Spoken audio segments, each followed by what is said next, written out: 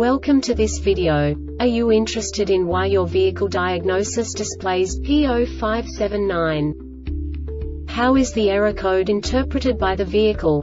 What does P0579 mean, or how to correct this fault? Today we will find answers to these questions together. Let's do this. First, let's look at the history of diagnostic fault code composition according to the OBD2 protocol, which is unified for all automakers since 2000. We divide the electric system of automobile into the four basic units. Powertrain, body, chassis, network. This distribution is defined in the first character code. If the second character is expressed as zero, it is a standardized error. In the case of numbers 1, 2, 3 it is a more prestigious expression of the car-specific error. The third character specifies a subset of errors. The distribution shown is valid only for the standardized DTC code.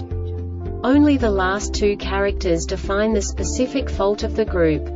Let's not forget that such a division is valid only if the other character code is expressed by the number 0. Our website airbagreset.sk produces useful videos for you. You do not have to go through the OBD2 protocol anymore to know how to troubleshoot any car breakdown. You will find all the diagnostic codes that can be diagnosed in a Mercury vehicles. Also many other useful things. The following demonstration will help you look into the world of software for car control units. You unbelievably can move the video a bit further. The error code is split into two bytes consisting of 16 bits. One bit is the basic unit that each computer works with. The bit has two logical states. 0, low level, 1, high level. By combining the first two bits, the basic character of the error code is expressed. The next two beats again determine the second character. The last beat styles of the first byte define the third character of the code. The second byte is composed of a combination of 8 bits. The first 4 bits determine the fourth character of the code.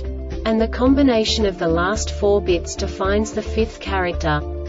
A single byte conceals 256 possible combinations. We now know in what way the diagnostic tool translates the received information into a more comprehensible format. The number itself does not make sense to us if we cannot assign information about it to what it actually expresses. So, what does the diagnostic trouble code P0579 interpret specifically, Mercury, car manufacturers? The basic definition is left rear damping valve low side 2 circuit open. And now this is a short description of this DTC code. Active damping control module ADCM detects when the left rear damping valve circuit is open. This diagnostic error occurs most often in these cases.